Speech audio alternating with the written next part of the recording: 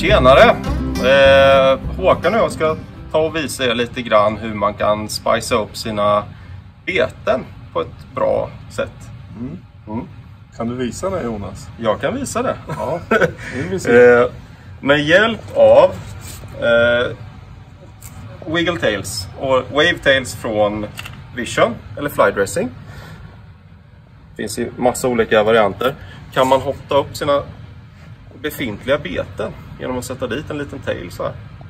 Eh, funkar på många beten. Alla är väl inte riktigt lämpade för det men eh, just den här rawbiten funkar riktigt, riktigt bra vilket ni kommer se i en film snart. Eh, ni kan sätta den på en Lestin Swim. Ni kan sätta dem på Buster Jerks. Tillför en extra dimension i fisket liksom. En extra hotpunkt, en ret, retning. Ja, just det. Eh, Funkar även skitbra på snaskagöse. På gummibeten, man kan sätta det i tailen. Eh, har man fått sitt bete avkapat så skruvar man bara in en liten tailhiker från Svartzonker i arslet på iggen. Där det förut var en liten eh, paddel. Tailhiken ser ut så där. Så får man mecka ihop det med en liten wiggle tail. Jag ska visa här. Håkan visar. Här har vi en eh, Chubby Chaser. Och här har vi en Dragon Tail. Den tar man bara, sätter den här på en fast attach. Gör ett litet hål, drar fast den.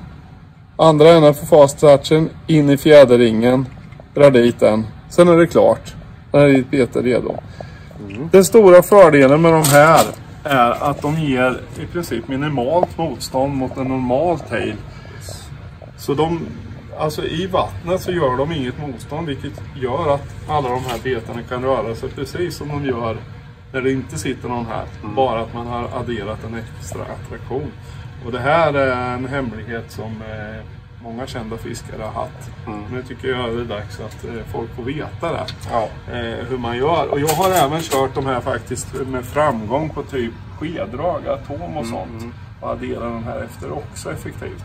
Så otroligt användbart. Så in och köp de här tailarna och sen eh, hotta upp eh, era beten. Och vart köper man dem Jonas? på upplevstore.se givetvis. Och skriv här nere i kommentarsfältet eh, lite tips och tricks eh, som ni själva har kommit på. Ja. Med hjälp av dessa mm, lite fiffiga riggningstips och sådär. ja. Kan vara uppskattat. Och jag slutar som vanligt. Låg. Lågbio. Lågbio. Ja. Du fick mig. ja. Ha det gött.